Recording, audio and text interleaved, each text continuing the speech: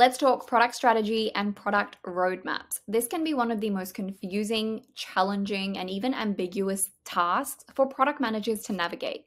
However, it's also one of the most important and influential things you do as a product manager. I've been there many times myself where I felt so stuck and confused putting together a roadmap. And there is a reason why that confusion exists, which we will talk about today. But every single time I go through a road mapping or strategic exercise, I learn something new. And what I really want to convey to you before we get into this presentation is that there is no right or wrong way to do product strategy and product road mapping. Every company, every person, and almost every year, you might do this differently, and that is okay. And that is really testament to the fact that it is a little bit of an art over a science, and I'm probably going to say that a few times in this video.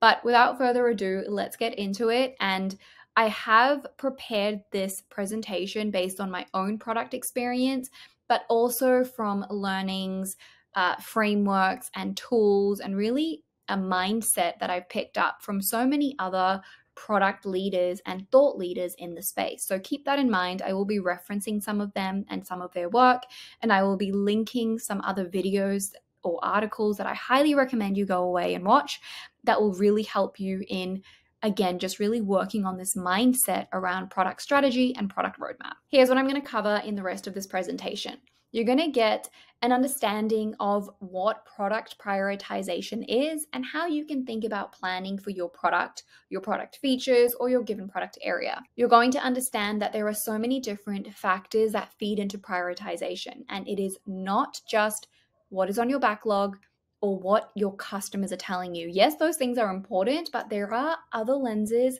that you really need to consider. Like, what is strategy? What isn't strategy? How much do you, in your given role, depending on where you're at in your product career, how much do you need to worry about the strategy? And then lastly, I'm going to get practical, I'm going to get tangible, and we're going to talk through how you actually put together a really succinct roadmap slide deck and we'll walk through that template. This video and presentation is going to be for you if you are new to being a product manager. So I'm talking about in the early stages of your product management career. So maybe you've never put a roadmap together, or maybe you have done it once or twice, maybe you've done it with the assistance of someone, but you're fairly new to doing it. This video is for you if you are just really unsure where to even get started with a roadmap. You've tried it before, you've made it up, you've done it a, few different ways. Doesn't matter where you are at in your career, if you have any confusion around how to create roadmaps, this video is for you. This video is also for you if you are well into your product career and you're starting to think more strategically. We can all own roadmaps for our features or even our specific products. But at some point, you do need to start thinking more long term and more strategically. And the earlier you can start putting yourself in that mindset, the better, especially if you want to progress into product leadership. But this video will be really, really relevant for you if you are already there. And then lastly, maybe you're not a product manager, but maybe you work with product managers or you are a product marketing manager. Maybe you're an engineer.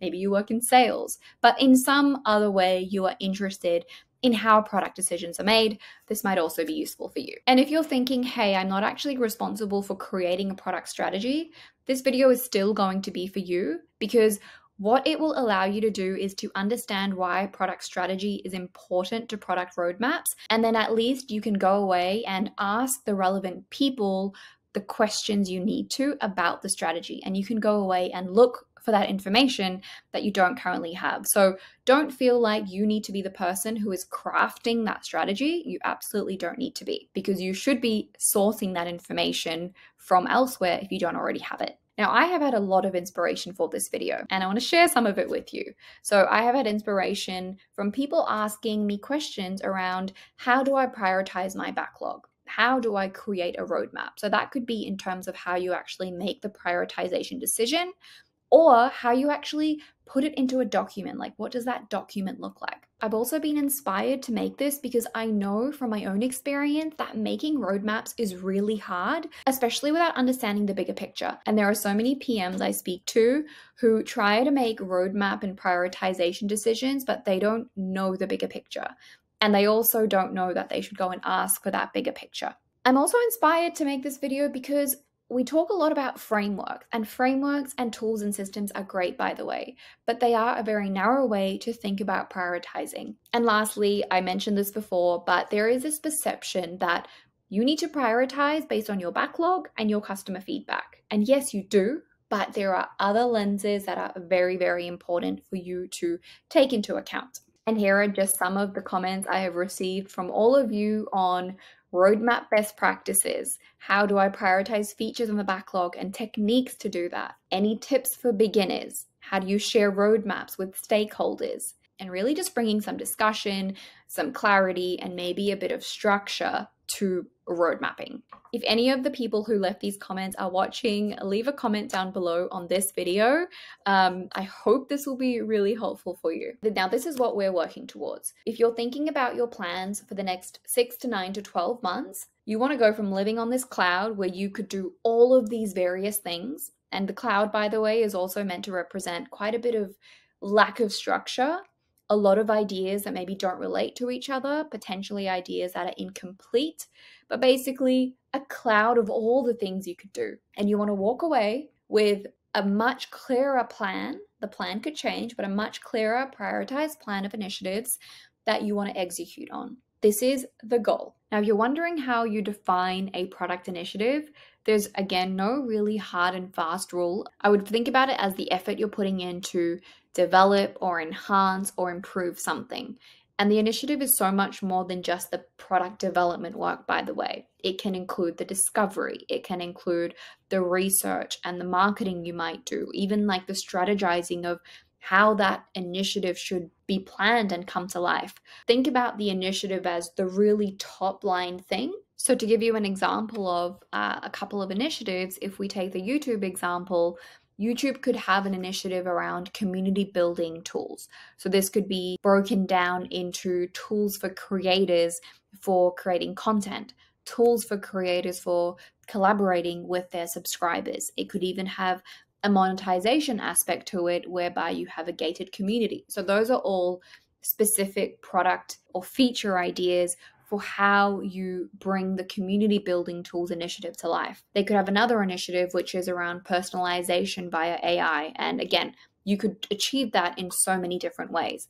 So there's no hard and fast rule about how granular your product initiative needs to be, but it can be rolled up into multiple features, multiple products, multiple activities across product and development and design and marketing. Or it could be something really specific where you want to build a specific feature and it is strategic enough of a feature whereby you want it as an initiative in itself. So think about the initiatives as really the thing that you want to achieve rather than the actual activity that will go into it. Now, if you're watching this video, I'm making some assumptions around how you might currently roadmap. This is based on the feedback I've had, this is based on the challenges I myself have experienced in the past, and just a general understanding of how confusing road mapping can be. So, currently, you might roadmap using a framework. Frameworks, like I said, are very useful. Now, currently, you might be prioritizing using a framework. There are countless different frameworks to help you think about how to prioritize what you should do next. You might also be prioritizing because you have really noisy, really loud customers who are asking you to just get something done. Or you might be prioritizing the customers that have the oldest request, or you might be prioritizing some of the requests that are the biggest and the hairiest problems. But basically, you're prioritizing things that are coming directly from customers and they're the ones telling you what you should do. You might also just be making it up. And that's okay. Like, we've all been there. I've been there. Uh, and if you're not making it up, maybe you're just leaning on someone else. Maybe if you're just starting out in your product career, you're not really making those decisions around prioritization, and that is okay. You might be leaning on your product lead to do that. So that is totally fine as well, but I think this is still very helpful for you to understand. And you might also be road mapping and prioritizing in some other artistic way, because I'm going to say this over and over it is a bit of an art over a science. And then there might be some of you who have this down pat and you might be prioritizing your roadmaps based on your company strategy and your product strategy. That means it's been well communicated and you understand what it is. Therefore, you know the work you should be doing to accelerate and support that strategy. But I have a feeling there's probably fewer of you that are in that basket. And even when you do have a clear strategy, it doesn't necessarily make things easy. You have another piece of the pie in terms of the information you need, but by no means does that mean it's now really easy and clear to make a decision. Like you still need to make tough decisions, say no, and evaluate trade offs. I've already jumped the gun on this, but I think for the second or third time, I'm going to say I think prioritizing and road mapping is a little bit of an art versus a science. We talk about data a lot when it comes to product management. And yes, you should collect metrics on your product. It's very important to understand how your products are being used. But is that data the biggest thing you should consider when you are thinking about what you do next? Not really, because there are so many other things that go into that mix, which we're going to talk about. Now, I'm going to expand on why product prioritization frameworks are not always the best thing to consider when it comes to thinking about your longer term roadmaps. Now, the RICE framework, by the way, stands for reach, impact, confidence, and effort. I'm sure you are familiar with this. If you're not, there are 10,001 uh, articles you could go and read about it, so I won't go into it now. But basically, you plug in some numbers for each of those criteria and you come up with a score. And based on that score, you prioritize the thing you should be doing. Now, the reason frameworks like this don't always work is because you are making a guess with your numbers, right? When you are putting down the effort for something, it is really a finger in the air estimate. When you are guessing the impact something might have, it's again kind of a subjective guess. This framework doesn't take into account what your product strategy is. This framework does not take into account what your competitors are doing. This framework does not take into account what is happening in the industry. Rice often favors things that have a, a, lower effort and a higher confidence. So you can see that even from this example. The first row has a 75% confidence and only a uh, two out of five effort. So if you're fairly confident that something is going to work and it's not going to be that much effort to get it out, of course it's going to get a high score. Versus, let's say, something like number four, versus something like number three. It has relatively higher effort and 50% in confidence. Now, what if number three was actually the thing that was going to help accelerate your strategy. But you only had three pieces of customer feedback for it. Does that mean it is less important than the thing that had 10 pieces of customer feedback, like row two? Absolutely not. So, really, what I'm trying to convey here is that RICE only looks at things in a very particular way. And another example of a product prioritization framework is the MoSCoW. This is what you must have, or your product feature, or your product must have, what it should have, what it could have, and what it won't have. And this one is really simple to explain why it's not fantastic, is because this is subjective. Different people will probably come up with a different opinion. Ultimately, someone's going to be the decision maker, but there are just not enough important factors taken into this prioritization method that just makes it a very narrow view for when you are prioritizing strategically what you want to do in the next six to nine to 12 months. Basically, there is no formula that will perfectly prioritize what you should be doing. There is an aspect of experimenting, and obviously, with being lean and agile, it means you might make the wrong decision, but that's okay because as long as you've learned from it, you can change it. So, no amount of research and discovery, prioritization frameworks, or tooling is going to ever give you full confidence that you're making the right decision because there often isn't just a black and white right decision. There can be gray decisions. There can be decisions you make with prioritizing that could have gone really well should you have marketed something differently, right? It's not always about the product that you build, it's how you get it out to market. Now, this all comes back to why is prioritizing difficult? If you are really, really challenged with knowing what is the right thing to prioritize, you might want to ask yourself if you understand what your product strategy is. So if you cannot prioritize, you probably have a strategy problem. Full disclosure, I got this particular image from the link mentioned in the corner here from Ravi Mehta. He was a product leader at, I think, Tinder. He has a really good podcast with Lenny's podcast, and I highly recommend visiting this link I have, which is the product strategy stack. And there's a version of it that I'm actually going to go through now. So, this is my own version of it. All too often, we think about the product roadmap in isolation. We think that we need to create this roadmap and then someone's going to go away and work on it and bring this thing to life. But really, the product roadmap is almost the thing at the bottom of the stack, bottom of the cake in my version. You cannot really have a roadmap if you don't know where you're going. And to know where you're going, you need a product strategy. Because the roadmap should enable that strategy. And the product strategy should be informed by where the company wants to go and therefore the company strategy. And of course, we know the big lofty word vision, vision, mission, whatever you want to call it. That's like the big, hairy, audacious future that you are trying to create. I have seen some product leaders say that you should actually create your roadmap before you create your goals, hence why the arrow that I have just to indicate to you that there are differing views on whether your goals should determine your roadmap or your roadmap should determine your goals. Your product roadmap can never replace your product strategy. Your product strategy is not the roadmap. I think those two things maybe can get intertwined sometimes, but let's make that really clear. Your strategy is where you are headed and how you're going to get there. But the roadmap is the actionable plan and the work you are going to do to get there. You can also think about this cake in terms of the different roles you might have in a company. So the vision is going to be set by the executive team. It's going to be set by the CEO and people at that level. Company strategy as well. Product strategy is likely to be set by the person heading up product. Typically, that can be a VP of product, a head of product, chief product officer, you know, again, at that very high level. Depending again on how big the company is and all of those things, that strategy should be filtered down so that different parts of the product organization can then come up with their own version of their strategy. Let me use the example of YouTube. Let's say YouTube has a product strategy for 2024. There are so many different parts of YouTube, right? There is the creator side of YouTube, the experience where I am uploading content. There is the viewer side of YouTube where you are watching videos. There is the YouTube app. There is the YouTube experience on browsers like so on and so forth. But each of those areas of YouTube and the product will have their own strategy and their own goals. And then each of those will have their own roadmap for how they are going to achieve those goals. So, this is what the ideal flow looks like. When you really break down what we mean by strategy, it is what are we trying to achieve? Let's actually break down that strategy into a few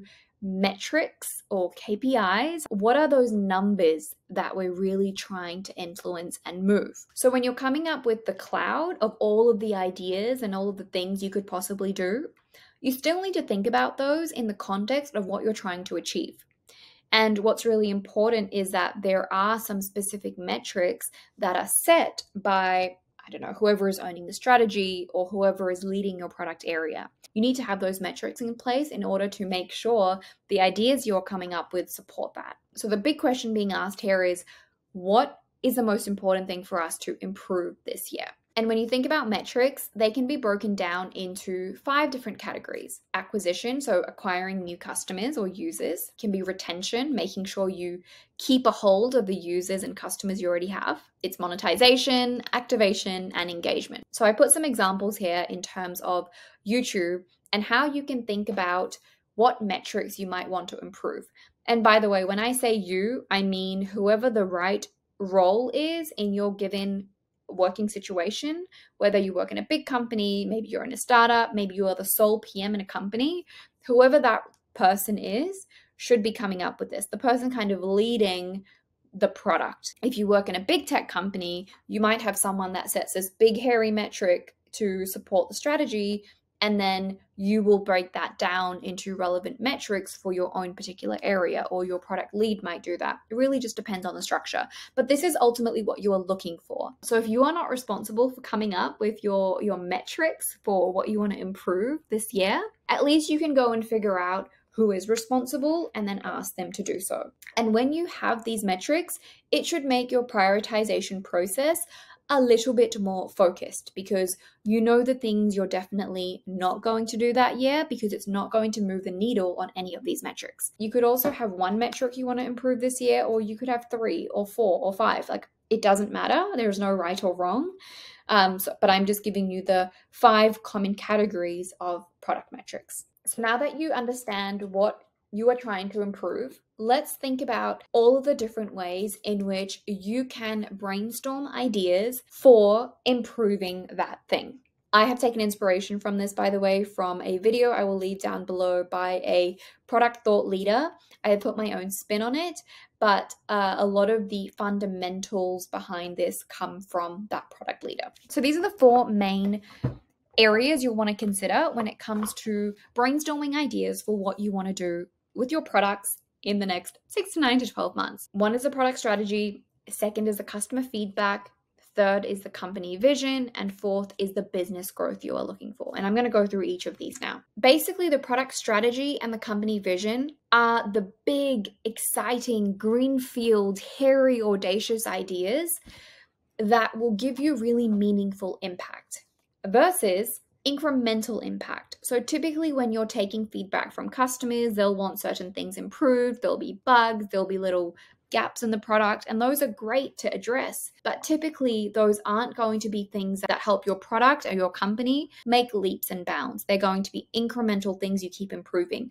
And you could keep doing that forever. There needs to be a balance between gradually and incrementally improving an existing product versus doing things that are bold to actually really help you move forward. Try new things, take leaps and bounds rather than just incremental steps. Now, let's start with product strategy. So, before we talk about what product strategy is, let's really be clear about what it is not, because I actually think this is the easiest way to understand it. So, your product strategy is not your roadmap.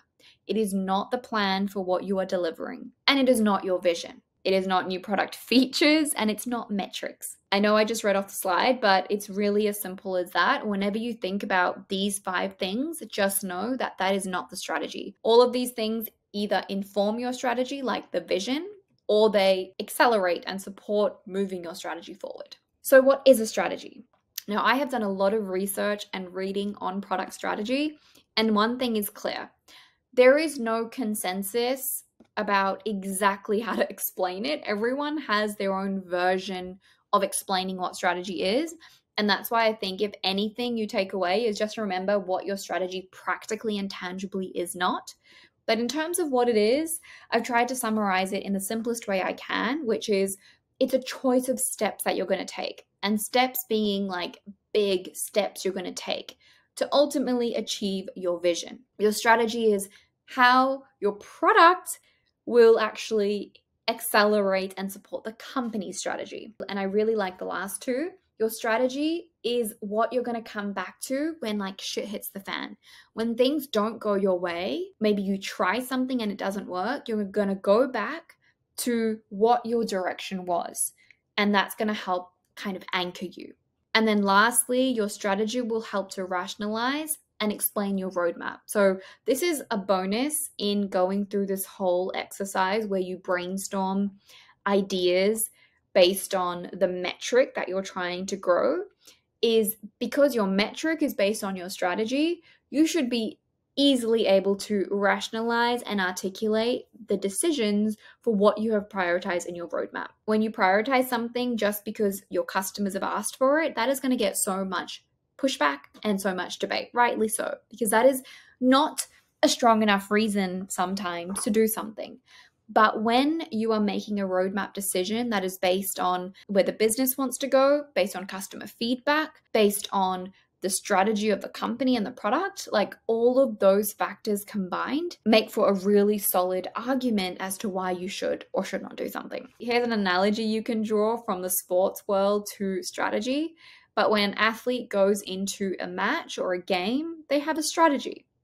They're going to try different tactics, and those tactics might be the equivalent of like your roadmap, but they might have to change those tactics. They might have lots of different tactics they're going to try, but it's the strategy that is the most important. So maybe they're trying a particular tactic and they keep getting punched in the mouth. They're going to have to fall back to what that ultimate plan, that ultimate strategy was. I don't know if that's helpful, but I kind of liked it. So I thought I would just put it in there to make this a little bit more lighthearted. Now, how do you create a product strategy? So this presentation, this video is is not that because how to create a product strategy could be a whole video or two of its own. But what I wanted to to give you was at least some resources um, that you can go away and look at in terms of how to create a product strategy. But the overarching theme you should see here is that there are so many different ways to create a product strategy. Uh, and I will leave some links below, but but these are some of the resources and tools that I particularly like. I highly recommend checking out Gibson Biddle. He came up with the strategy for Netflix, and one of his very popular frameworks for coming up with a strategy is the DHM model. This is how you delight customers in a way that's really hard to copy. So that's like your unique value prop, and in a way that increases your margins. So he has a bit of a framework for how you can think about that when it comes to product strategy. And he has some really, really great videos on this as well. There is the example of Amazon, and there are six pages. So the way Amazon do anything in product is by starting with the end in mind. They will typically put together uh, a press release. You may have heard of the Amazon press release process. They'll start with like what the end press release for a product looks like. Typically, that's what you do last. But in Amazon's case, they will write that first because it gives them the vision for what they want to work towards. And I think the anatomy of an Amazon six pager is kind of similar, but it's focused on strategy. This one here I really like because it gives you a really great layout on a single page for thinking about everything you need to consider when it comes to a strategy. So you need to think about the problem you're solving, your solution, what is your USP or your unique value prop? who are you doing this for how are you going to make money um, you know so on and so forth so highly recommend this. These are all clickable links by the way so when you are going through this slide deck you'll be able to click on each image and that'll take you to the source where you can actually download these things. And the last two are a strategy one pager kind of similar to the canvas but just a different version of it. And then this book is quite popular. Roger Martin has his own framework for how to put together a strategy. And this is where I'm going to leave how you create a product strategy. But if you have any questions about this, or if you do want me to make another video uh, related to creating product strategy, then definitely let me know in the comments below. But as it relates to your roadmaps, you need to have this to start with. When you have the strategy, as I've already explained, that is how it's going to be clearer to make decisions on what should be prioritized. So, the takeaway here is if you are not responsible for creating your product strategy in your given working situation, that is fine. But at least you can go and ask for the strategy by whoever is responsible for it. And if there isn't one, making your roadmap prioritization decisions shouldn't be easy. Okay, next, let's touch on vision. I'm also gonna go through this one pretty quickly because you can Google what company vision means. I haven't ever really created the vision for a company before, so I don't have experience personally on this, but we all know that a vision is what everything really starts with, right? Every company has a vision or a mission, and this is really your aspiration, and it is what the world looks like when you've achieved your purpose. I really like that explanation of it. Your strategy, as you saw in the cake earlier, can't exist if you don't know what the vision is. In terms of roadmaps and product plans, you might come up with new product ideas, new features, or even non product specific changes that help to accelerate your vision. And that's why this is important. At some point, a company needs to make a bold move. Maybe it is to work on a brand new product. Maybe it's to go into a different vertical. Maybe it's to try and target a different customer segment. Like, whatever it is, the vision can give you a pool of new ideas that can help to to support that and again that can be one area of ideas that you can feed into your roadmap. Next is customer feedback. This is probably the easiest, so I'll go through this really quickly. You should be familiar with this.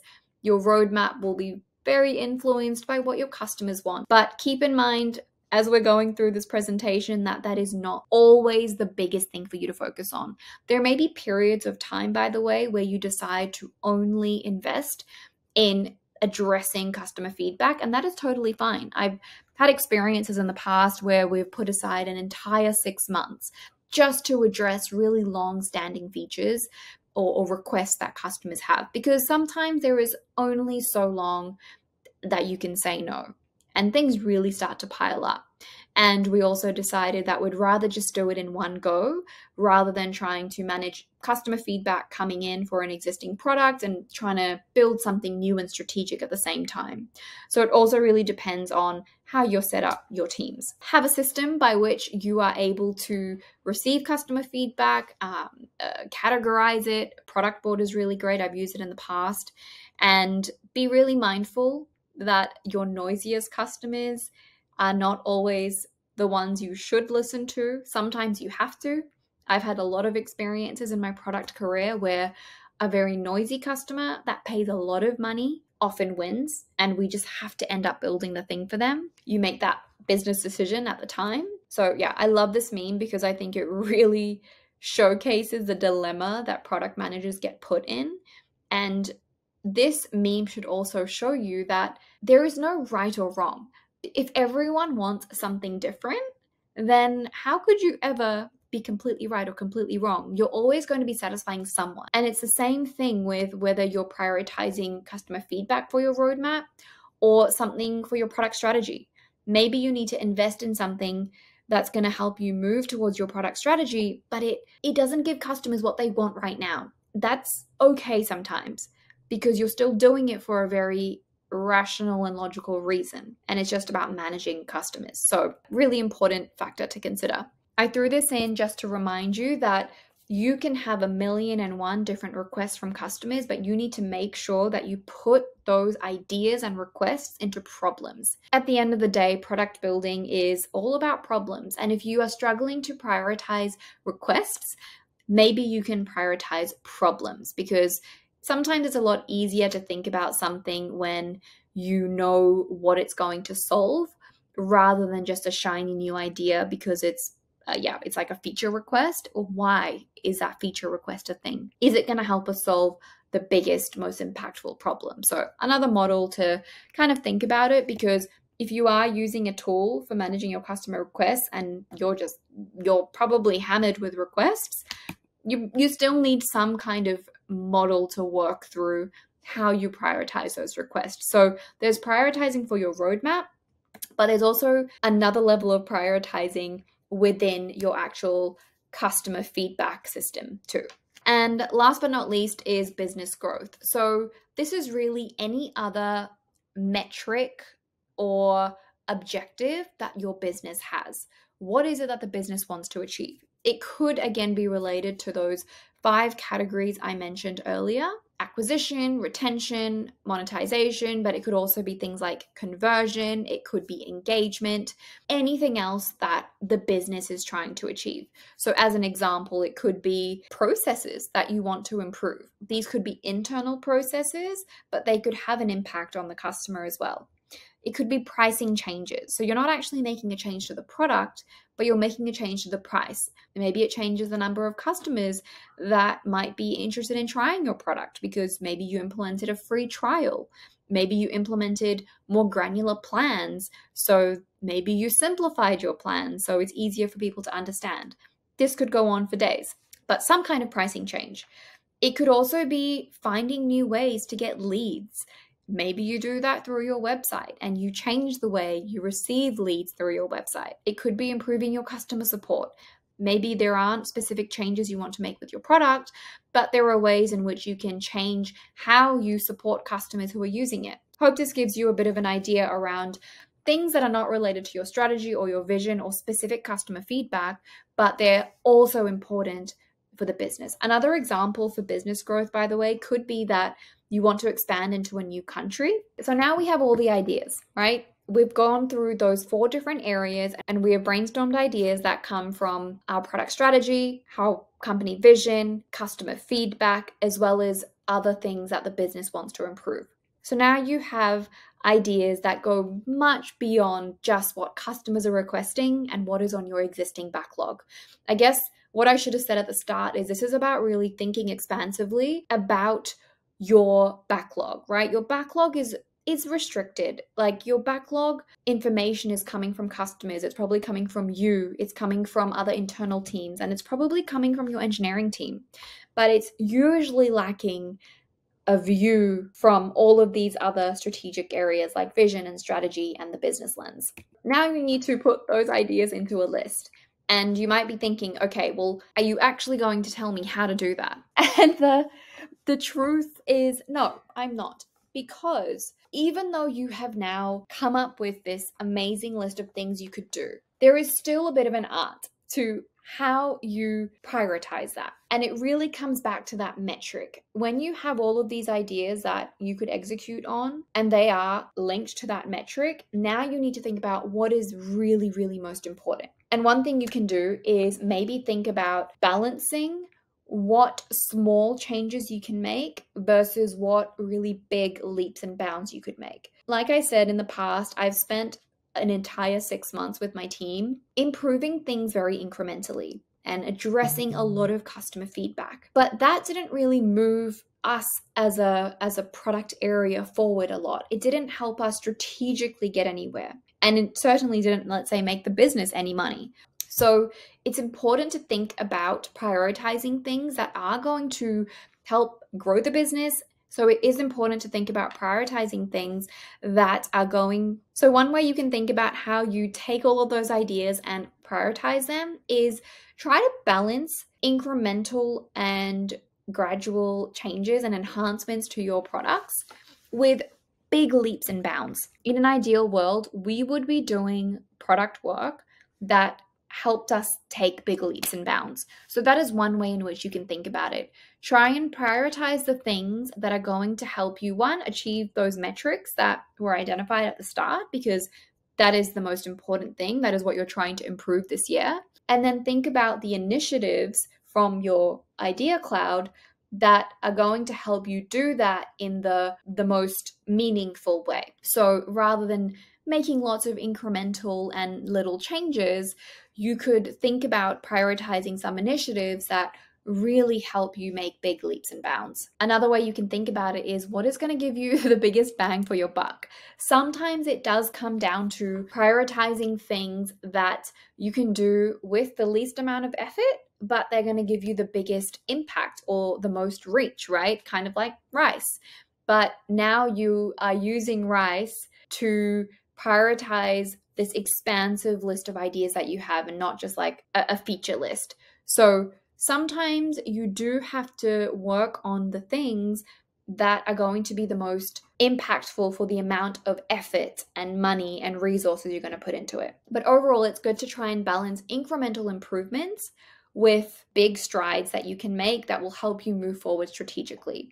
And when you think about this over the span of a roadmap, so that might be six to nine to 12 months, you don't have to do those things at once. It is really hard sometimes to do things in parallel. You could spend the first six months of your year, like I have done previously, just banging out customer feedback uh, requests or improvements. You could spend the latter six months working on strategic initiatives that are really going to help you get closer to product strategy. Really depends on how your teams are set up, how much resource you have, um, what your appetite is for doing things in parallel etc. Now that we've understood all of the inputs that go into a product roadmap, let's talk about the product roadmap itself. So, this could not exist without all of that prior thinking. Your roadmap is how you're going to achieve that strategy that we talked about. The roadmap is really the plan, right? That's why you often see roadmaps on a timeline. They don't have to be on a timeline. I'm going to share some examples soon, but they often are on a high level timeline that can be typically based in quarters or even in half year increments and sometimes even in months if you are a smaller company. While you might have a roadmap that spans multiple quarters or multiple months, it is very common for that roadmap to become less certain as it gets further out. Because in reality, you're making a lot of educated guesses. You're making a lot of assumptions about how things are going to go. Think of this example that we're kind of seeing in the world at the moment, which is a lot of companies pivoting their product strategy as well as their product roadmaps to accommodate for the fast moving um, AI trend that we're seeing. If nine months from now there was some other new technology that I didn't know about, I can't plan for that in my roadmap, and that is totally fine. I'm going to make assumptions about what I think I should be doing in maybe six to nine months, but chances are it is most likely going to change. And I don't think I have ever worked on a product where the roadmap didn't change in six months or nine months, but it's still good to have it there as as you need that anchor for like where you are headed. And the product roadmap is not focused on delivery. It is about what you will deliver, but it's not the actual delivery plan. Your engineering team will come up with that where they break that roadmap down into the next level. And to my earlier point, your roadmap can absolutely change anytime you share a roadmap with customers, it should have big disclaimers on it. I think it's called Safe Harbor, which is basically saying we can change this at any time. So definitely don't think of your roadmap as a commitment to your customers, but also to other stakeholders and cross functional teams that you share it with because your roadmap should absolutely be a tool that you use to communicate what you are doing with your product, both internally and externally. Now I'm going to jump into the template. As a reminder, I will have a link to the template in the description. Please be sure to make a copy of this before you edit it. You will have to go to File, Copy, and then copy entire presentation, and that will be added to your Google Drive starting strong with the title slide. Feel free to adjust this however you like. Ideally, the entire template should be adjusted to the design and color scheme and theme of your company. So be sure to do that. I've just used some random generic colors. Now you'll find that this template kind of mimics that cake structure. We're not just going to jump into the work we are we're not just going to jump into the roadmap because we kind of need to paint a picture of what we're trying to achieve and why and then we can show the work that we're doing. So by having some of these slides that I'm going to go through at the start of the template, you're actually going to make your life a lot easier for when you get to explaining what your roadmap actually is. So start with the vision. Hopefully, this already exists for you. If you're in a larger company, it absolutely should. If you're in a smaller company or a startup, you might need to come up with this yourself. But the vision should be something that stays fairly consistent across all aspects of the company or the startup. So hopefully this is something that you can just quite easily reference from somewhere else. Next, we want to talk about who our product is for, right? It's always really good to set that as a reminder because you're going to have different segments of customers, you're likely to have different personas. Maybe your market has changed at some point. So let's be specific about who we are building for and solving for and why. So it's really important to go into the needs of each of your customer segments. You could also swap this out for user personas. I've just gone with segments, but the most important thing is that you actually talk about the needs of each segment or persona. And this is again going to be really helpful when you talk about your roadmap because your roadmap should be linkable back to the needs and the problems being solved for each of your different types of customers. Okay, next is objectives. This is really those metrics that I talked about. The two, three, four, however many metrics you have, tweak this. Hopefully, again, if you work in a larger company or you're working with someone who else who is creating and setting these goals, you can reference this from somewhere else. But we want to make sure we come in really strong with the things we are improving this year. If they're quantitative, that is really helpful because then there's really no vagueness to it. So, whether it's acquisition, retention, engagement, whatever your metrics are, put them in here because everything is going to anchor back to this. Everything in the roadmap is really relating back to every one of these slides, by the way. I hope you see that. But in particular, the metrics. Everything you prioritize should help in some way to move the needle on these metrics. Next, we want to show what the market looks like. It's always really helpful at different points in time to remind people who you are up against, what is the current state of the market, whether that's direct or indirect competitors, because your customers are going to be choosing between you. The most important thing when talking about competition is not talking about everything that they are doing, but it's where you sit in position to them. This is one of the biggest things I see done incorrectly on all sorts of roadmaps, including startup pitches, which is you kind of just list who your competitors are and what they do.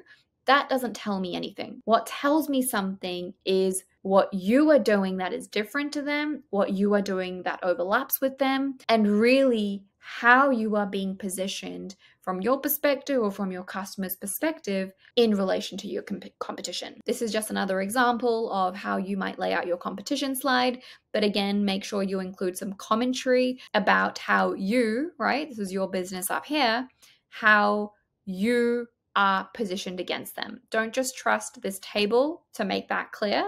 You can either add a bit of a paragraph, maybe another slide summarizing it, or maybe even talking points. Yeah, just another version of how you can lay out competition. Right, next we want to talk about your unfair advantage, or you could also think about this as your unique value prop. This is again something that is really important to convey over and over again. You need to be sure, you need to make sure you have the thing that differentiates you. And this is the thing that you often sell to your customers. If they're choosing between two companies, two products, there's got to be that thing that sets you apart. It doesn't have to be the product. Sometimes it can be the brand. Sometimes it can be the pricing.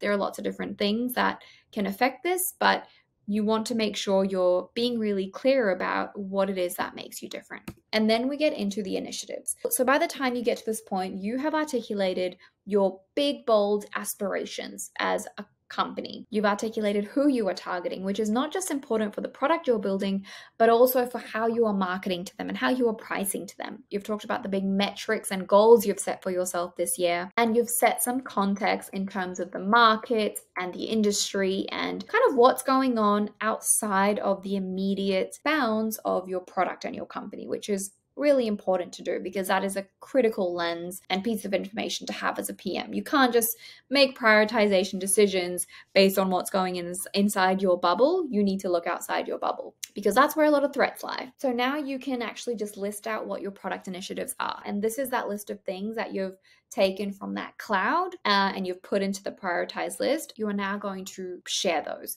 You could have three, you could have four. I've just randomly put three up here, but speak to what your main initiatives are and make sure you are clear about how they're going to move the needle on those metrics. I'm a big fan of visuals and mock ups, even if it's something really conceptual. So feel free to replace this uh, random a YouTube mock up that I have. Um, but try to include something visual where you can. I think it really helps to communicate ideas, mm. especially ideas that are new or haven't really been shared before. And you're hoping for a strong reception of those ideas. This is just another format in which you could show your initiatives. So this one's a little bit more visual, this one's a little bit more structured, just an optional slide I added, but completely up to you how you yeah, showcase these. This is optional as well if you have done some more longer term thinking, but you can put those initiatives for the next 6 to 9 to 12 months on this and then maybe some really high level ideas about some other future things you might be doing. This is optional and only relevant if you know what that is. But oftentimes, when you're working on something that is moving you towards a longer term vision, it can be helpful to plot where future product work uh, related to that uh, will fall. So take this as you will and only use it if it's relevant for you. Now, by this point in the template, you have painted just the big picture the vision, the metrics, the market landscape, and now the initiatives. So, how will you actually achieve those initiatives? Only now do we get to the roadmap. This is a point I really want to emphasize that presenting your roadmap is so much more than just presenting your roadmap. You need to make sure you are taking people along on a journey whereby they understand not only what you're trying to achieve, but why you're trying to achieve it and why it is important and what else is going on outside of your bubble. So that by the time you get to actually telling them what it is that you want to do, they understand and hopefully they have far fewer questions. Although questions are still really good and you should be getting questions, but hopefully it makes it a lot easier for people to understand. Now, I always like to recap what you've done in the last year or in the last quarter or whatever time frame you like. I think it's really important to celebrate wins, highlight accomplishments, highlight you know really positive customer feedback or however you want to spin this rather than just talking about all the things we want to do let's make sure we set aside some time to talk about the things we did actually do and possibly even insights that you had from those things. So, if there are key metrics you can share, customer quotes, any kind of feedback that you've received on the stuff you've already done, that is really helpful. And here is a view of what your roadmap could look like. By the way, I know this is a slide deck. You can totally put your roadmap in a different tool. There are so many different tools you could use. You could use Notion, Trello, Jira, Productboard, Asana, Monday.com.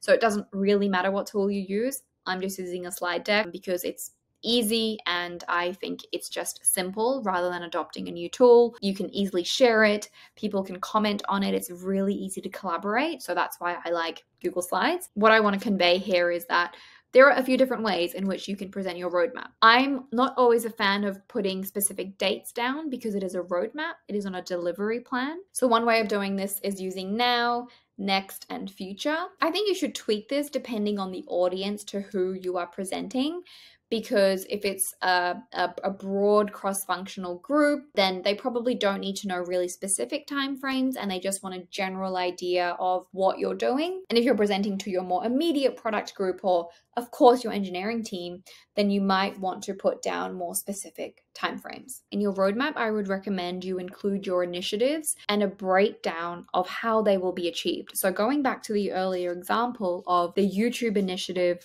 of, let's say, community building tools, you don't want to just put the high level initiative on here, but you should have done the work to break down what that will entail. So, if your community building tools includes new ways for creators to create content or more collaboration tools or a paid community, then those are the items you want to put on your roadmap because that's the thing you're actually going to work on. And there will be other activities you do as part of that initiative because there'll be research and marketing. You don't have to put that on the roadmap. It's really about the value you're going to ship. So just remember that because you've already shared the initiatives up here, you want to make sure the roadmap is the next breakdown of that. You don't want to just repeat the initiatives on the roadmap slide. The remaining slides in the appendix are optional and they really just show you some different visual ways in which you could talk to each of your initiatives or your roadmap items in a little bit more detail. You might want to break down the features of a, a given initiative you might want to break down into some insights that you have from customers or even how you might break down a given initiative into very specific deliverables. Like it's really up to you, but this is an example. And then I actually referenced an example from ResortPass, which I got from uh, Reforge. And this is a slide they had on their product strategy and roadmap deck, which kind of gave you a, a high level view as to what their goal is, some metrics, and the things that they want to deliver. I think this is really nicely put together because it's visual, but it's got some data and it's got the things that you're actually trying to achieve and how you're going to achieve it with with the specific uh, features and this is another example that they had as well less visual but it still conveys the work that you want to do and and when you want to do it and that is it for this product strategy and product roadmap video and template walkthrough. I really do hope you found this useful. Uh, if you have any questions, then please leave them below and I will be sure to get back to each and every one of you. And I guess I just want to end off by saying that remember that there is no right or wrong black and white way to do road mapping or to do strategizing. There is also no absolute black and white, right or wrong product prioritization decision that you can make. Everything you do is ultimately based on assumptions. As long as you can validate those assumptions to some extent and have really sound rationale for why you are making a particular prioritization decision, that is the most important thing. Because ultimately, the market and your customers and your users will tell how things actually go. You can only do so much prep work. So use everything I've explained, especially all of the different areas that input to the ideas for your roadmap as a way to rationalize why you are putting something on the roadmap. So, as long as you are tying back every single idea to the goal and the metric that you have. So make sure you get that because if you don't have that, then you don't really know where you're aiming. As long as you can do that, then you should be able to rationalize why you should prioritize something, prioritize it, build it, ship it, get the feedback, and learn. So, yeah, with that, I'll leave you here. Thank you so much for watching again if you got this far, and I will see you in my next video.